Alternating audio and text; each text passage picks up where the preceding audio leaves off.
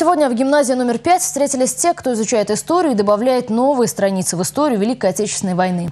В Саранске прошел слет поисковых отрядов России, на котором подвели итоги масштабного археологического проекта «Вахта памяти». В слете участвовали и представители Чувашии. Наши поисковики заняли третье место среди 14 региональных команд.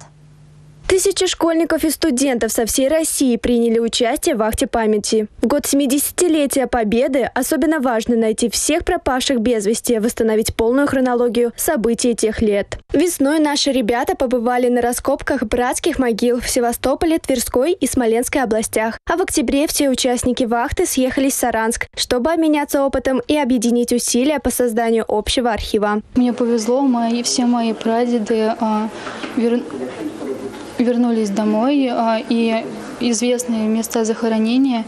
И, наверное, повлекло то, что захотелось вернуть, а, дать людям возможность найти своих близких. Поисковые клубы и объединения есть во многих чебоксарских школах. Ученики 4 и 5 гимназии, 29 и 57 школ самые активные. Они ездят на раскопки, участвуют в конкурсах полевых отрядов, проводят классные часы для своих одноклассников. По мнению руководителя регионального отделения «Поисковое движение России» и клуба «Набат» школы номер 57, историю, особенно военную, необходимо изучать не в Гугле, а передавать из поколения в поколение. Сегодня э, у нас узнают из своих семей о Великой Отечественной войне буквально 5-6% населения. Все.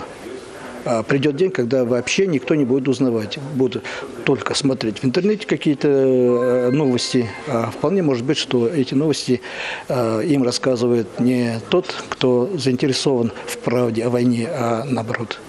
Поэтому именно тогда, когда ребята сами участвуют в поисковой работе, они понимают истинную ту правду, которая реально сегодня в жизни есть, была и будет. Подведение итогов вовсе не означает, что поисковая работа завершается. Помните, война не кончается, пока не похоронен последний солдат. Екатерина Куприна, Игорь Зверев, Республика.